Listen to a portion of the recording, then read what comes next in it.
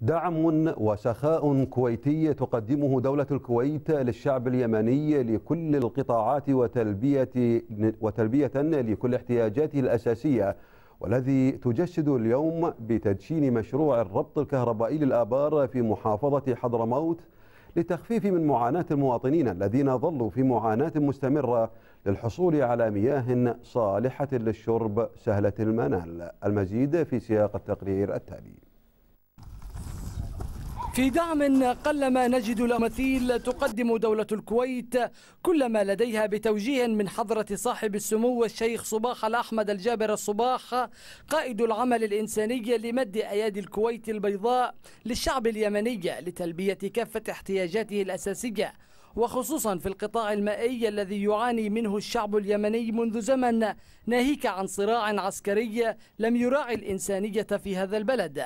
ها هي اليوم. دولة الكويت وعبر حملة الكويت إلى جانبكم تقوم بتدشين مشروع ضخم في مدينة سيئون في حضرموت للربط الكهربائي لحقل مياه مديرية تريم في محافظة حضرموت بتكلفة بلغت نصف مليون دولار.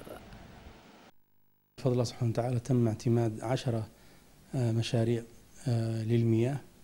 وهذه المشاريع تمثل أولوية ملحة في تغذية وتحسين مصادر المياه في هذه المديريات العشر بمحافظة حضرموت. وتشمل هذه المشاريع أعمال ربط كهربائي لحقول المياه لإيصال المياه وتحسين ضخها للمناطق السكنية. مشروع الربط الكهربائي لأحد أكبر حقول المياه في محافظة حضرموت لم يكن هو الأول من نوعه بل ما قامت به دولة الكويت أكبر من ذلك من حفر للآبار واستكشافات جديدة لزيادة الإنتاجية وتوريد أجهزة مختبرية لمؤسسة المياه المحلية وتوريد مضخات غاطسة للآبار. مشروع الربط الكهربائي والذي تم تدشينه اليوم على امتداد أكثر من 2 كيلومتر يأتي للتخفيف من معاناة المواطنين والذين ظلوا لفترة طويلة يستجلبون المياه الصالحة للشرب يدويا. نحن الآن نفذنا عدة مشاريع في مجال المياه. أبرزها كان مشاريع محافظة حضرموت حيث تنوعت بين حفر آبار وتوريد معدات ومستلزمات لمختبرات المؤسسة العامة للمياه وكذا الربط الكهربائي للحقول.